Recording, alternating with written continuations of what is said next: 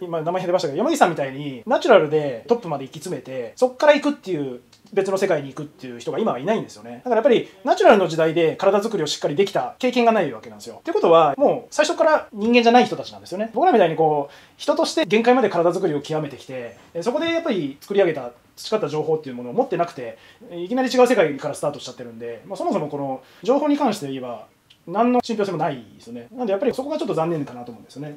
でやっぱりこうプロもですね本当に僕もね多分ナチュラルの極めた先にプロの世界があるんだったら僕もプロ目指したと思うんですよね。こんな素晴らしい世界ないですよね。あの極限まで極めたナチュラルで。で、まあ、そこの先がもちろんナチュラルであればなおさら当たり前のように面白い世界ですよね。それだったら僕も、まあ、絶対プロの目指してると思いますけどね、まあ、でも今はプロが残念ながら違う世界ということで、まあ、すぐにもう見切りをつけましたけどもそこは。なのでまああくまで守備としてアマチュアとして、えー、ナチュラルで極めたいなっていう気持ちでずっとやってきましたよね。やっぱりその情報を出す側としてやっぱりナチュラル極めたことのない人たちの情報っていうのはやっぱりもう本当に信じれない